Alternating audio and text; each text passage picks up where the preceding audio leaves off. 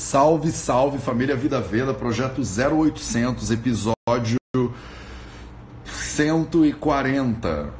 Todo dia eu falo 140 para ver se alguma hora eu acerto, né? Bom dia, bom dia pessoas, tudo bem? Sejam bem-vindos aí em plena terça-feira, esse dia 12, dia de lua cheia. Ó, se você é, vai ficar andando pela rua hoje, toma cuidado. Hoje é dia de lua cheia, todos os todos os werewolves, todos os lobisomens aí estão na rua hoje. Então, sejam muito bem-vindos a mais um episódio do projeto 0800 aqui no canal. Ih, caraca, meu cabelo tá crescendo todo esquisito. Aqui no canal do Instagram do Vida Veda, todo dia 0800 às 8 horas da manhã, do horário de Maringá. Aí a gente está indo do sul para o norte do Brasil aos pouquinhos. Então aí, galera de Maringá, pronto, 8 horas da manhã, todo dia, todo dia que dá, aqui no Instagram do Vida Veda. Bom dia, Isilda Moreira, tudo bem, galera? Que bom! Entrem aí, façam suas perguntas, façam seus comentários, deixa seu joinha, deixa seu alô. Bom dia, bom dia, Ricardo Barreto. E aí, André Heinz? Cibele, que bom. Kátia Seis Bruno. Que maravilha. Bom dia, Silde. E aí? Cris Fidelis, tudo bem? Que mara. Ana Luísa Ap, 28. Bom dia para quem já ficou 10 minutos agachado. Uh, uh. Aí, a galera que tá encarando o desafio 1800. Ontem foi muito maneiro. Eu já vi vários, quer dizer, hoje de manhã, eu já vi vários stories né, de vocês é, tirando foto e, ou videozinhos fazendo, mandando brasa no primeiro dia, nas primeiras 24 horas do desafio 1200 que a gente estabeleceu ontem. Maravilha. Se você não viu ainda o desafio 1200, vai lá e vê, ele fica gravado, né, 24 horas, depois a gente lança no IGTV, no YouTube, no Facebook. O que, que essa equipe do Vida Veda não faz para dar mais conteúdo, mais valor para o seu dia? Então, dá uma olhada lá e lembrando que agora, né, é uma ótima oportunidade para você mandar brasa aí no seu desafio 1200, né? Já começar o dia como, né? Fábio SP Projeto 0800 139. Ah, aí, ó, tá vendo? Tô quase. Eu sabia que eu tava chegando no 140. Maravilhoso. Obrigado, Fábio. Muito obrigado. Elane Rosa, e aí, tudo bem? Beatriz Reis Terapias, bom dia.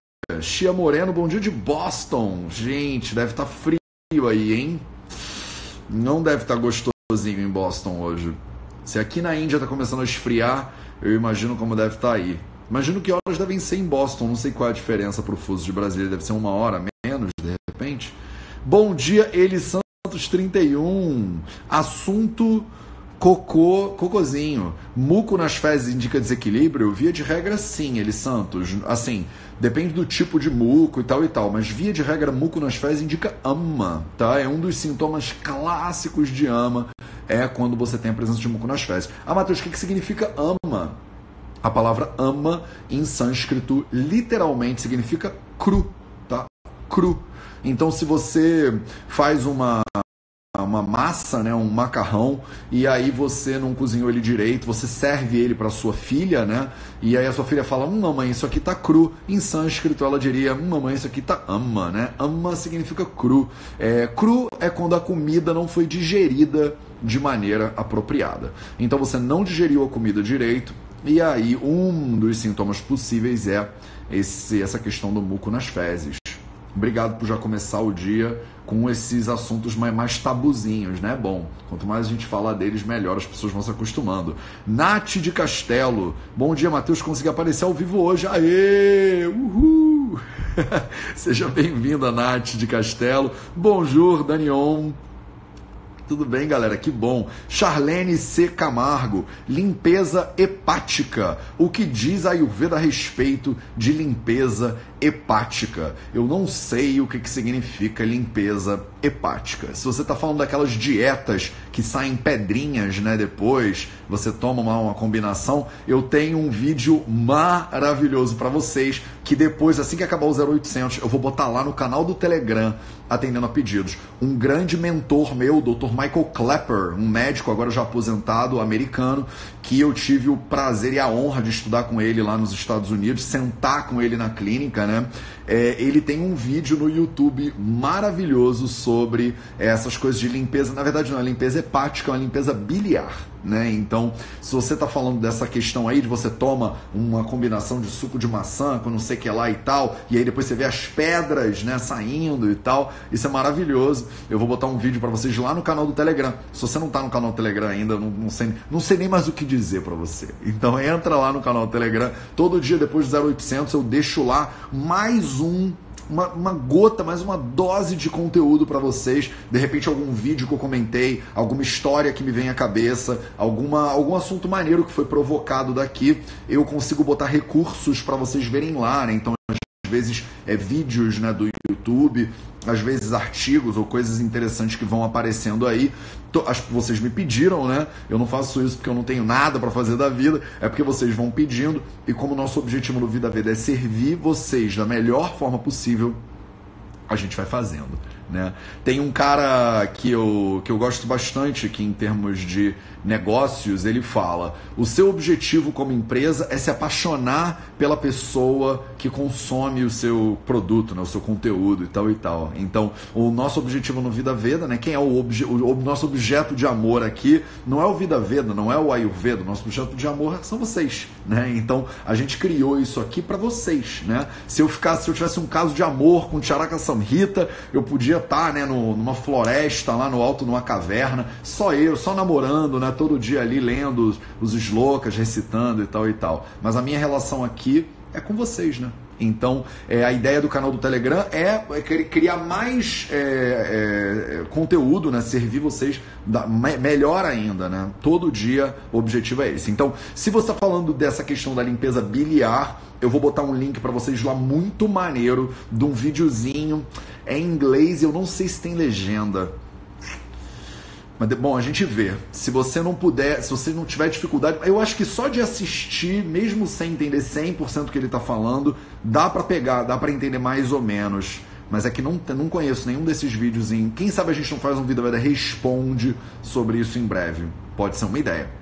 Se você está falando de limpeza hepática, quer dizer, ah, como limpar o seu fígado efetivamente, assim, via de regra você não precisa, tá? O fígado é o autolimpante mor, né? É como se você estivesse lavando um sabonete, né? Tipo, ah, eu vou passar um sabonete nesse sabonete aqui. Tipo, o fígado ele é, o, é a máquina de limpeza do corpo, ele é a fábrica de detox do corpo, né? Então, tudo que você consome, tudo que você toma, tanto de remédio quanto de comida, é absorvido no seu intestino, né? no, seu, é, no, no seu trato intestinal e cai né, no sistema portal e passa primeiro no fígado para ser desintoxicado. Então, o fígado já é uma máquina de detox né? O que você tem que tomar cuidado é o que, que você bota né, em contato com isso. Então, se você está com gordura né, no fígado, por exemplo, então, é, você tem que ver o que, que você está consumindo, né? Que o fígado, coitado, que já é o super-herói do corpo em termos de detox, não está conseguindo dar conta dessa tragédia toda aí. Então, eu não sei se era isso, Charlene, que estava querendo dizer, mas foi bom que você levantou umas bolas interessantes para mim aqui. Melinga Avelar, bom dia, tudo bem, Silde? E aí? Bárbara Babi 2019. Bom dia, poderia por gentileza falar sobre o glúten?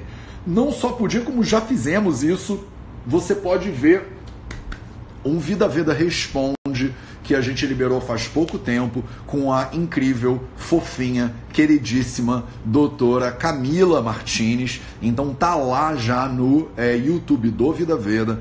É, hum, para que, que servem grãos integrais, se eu não me engano. Então você bota lá, posso botar também no canal do Telegram depois do 0800. Gente, vou esquecer de tudo, de todas essas coisas que eu estou prometendo para vocês. Tem que fazer uma listinha agora, né?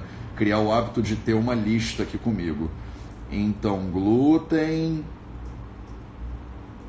e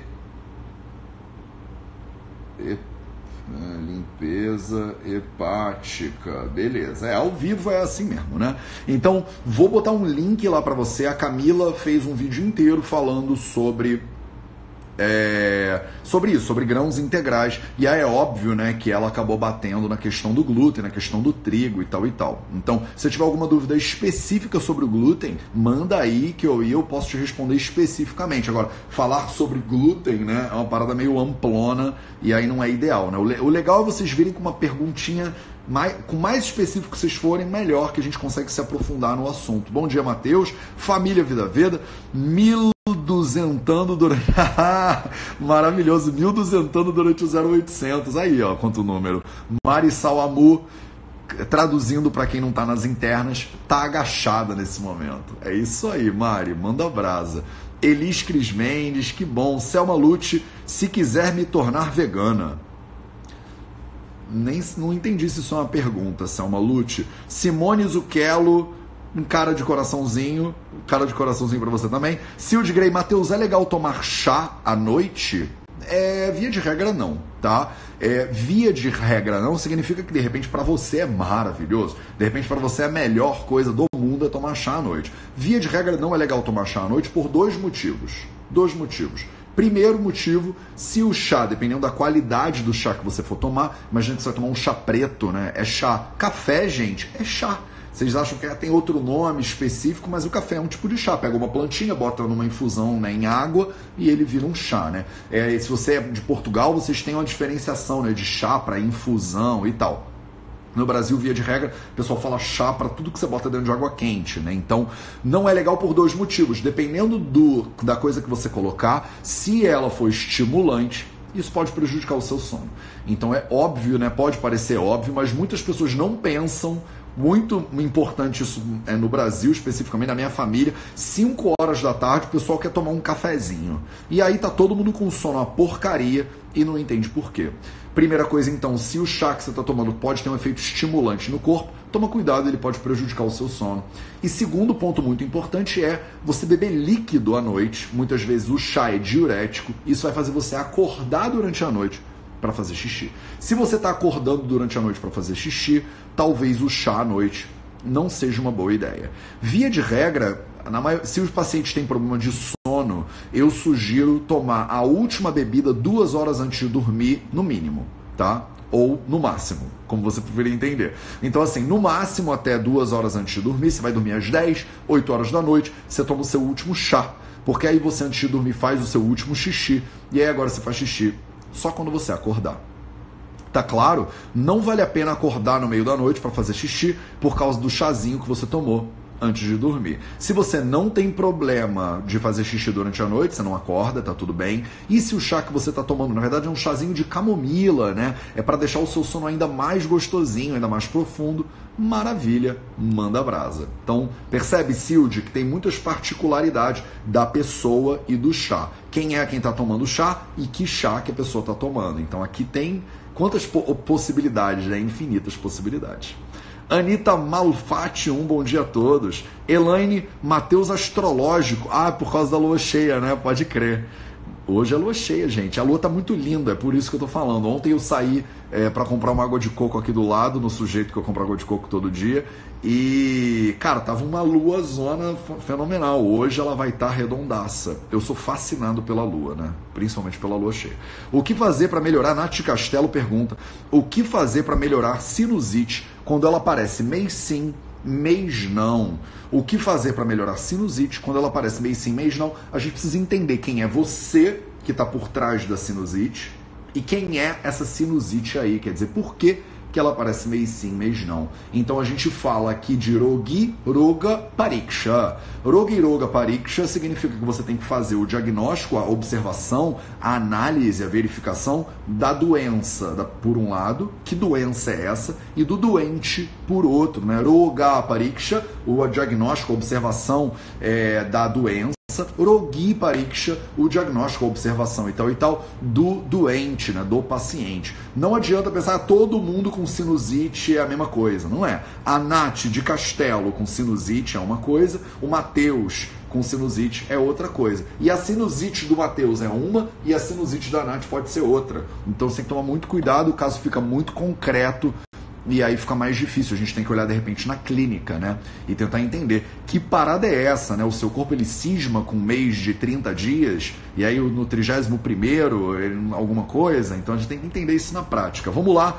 Últimos 10 segundos. Bom dia, tô aqui em Salvador de férias, tô assistindo, diz Ale Cris. Ai, que bom, Ale, que bom. Seja muito bem-vindo. Janiara David, maravilha então. Verhatsue. Galera, esse foi o projeto 0800 0800 às 8 horas da manhã, do horário de Maringá, aqui para vocês no canal do Vida Veda no Instagram. Se você está assistindo isso no YouTube, no Facebook, no TikTok, onde você estiver aí assistindo essa parada, você quer participar ao vivo, como as mais de 150 pessoas que vêm aqui todo dia, nossos queridos 1%, você entra no Instagram do Vida Veda. Se você quiser receber esses conteúdos que a gente manda, que eu mando depois para vocês do Projeto 0800, entra lá no canal do Vida Veda no Telegram. Ah, Matheus, eu não sei como é que entra, quantos canais você tem. A gente tem todos. A gente tem todos. Vocês não têm para onde correr, vocês não têm para onde fugir. A parada é que já que vocês vão gastar horas vendo esse negócio e curtindo fotinho, pelo menos que você tenha uma injeção de 10, 15 minutos por dia na sua vida, te empurrando para ter mais saúde, para melhorar a sua saúde, para melhorar a saúde da sua família. Aperta lá no na bio do Instagram que você vai ver o nosso Linktree, tem todos os é, ícones e itens e links que você precisa, inclusive o link do Telegram. Um beijo para todas e até amanhã às 8 horas.